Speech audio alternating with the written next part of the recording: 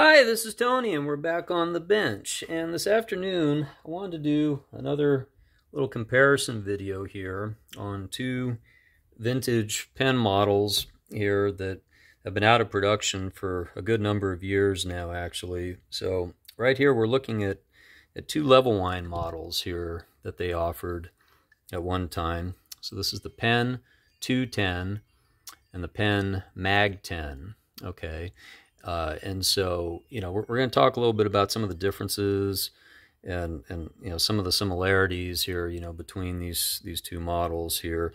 Uh, you know, obviously size is the first thing that sticks out. You know, the 210 is quite a bit larger than, than the, the, the Mag 10 here. Uh, but one thing to note um, about these models is they came out in the early 80s and they were discontinued in the in the mid 90s I think the Mag 10 lasted just a little bit longer than the 210 for a while, uh, but uh, but they both uh, they both incorporated uh, stainless steel ball bearings on both sides, which was not a common thing for a level wind reel uh, that Penn offered. Uh, they usually just incorporated the standard bushings.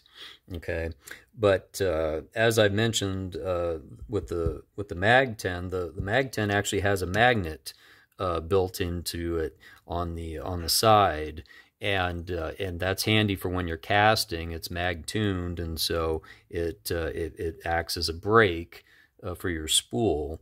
Okay, the 210, however, does not incorporate uh, the magnet, uh, even though you know they they look like they're you know of the same generation, you know which they are, uh, and a lot of the time the 210 can can be labeled uh, Mag 10 just because it was it was part of this run of, of, series that Penn offered, you know, at that time, but it does not have the magnet in the 210. But it does have the stainless steel ball bearings, so it's got a nice smooth operation. Okay, uh, the 210 has an oversized torpedo handle, which is also nice, you know, for you know for for leverage, you know, when you're fighting big game fish.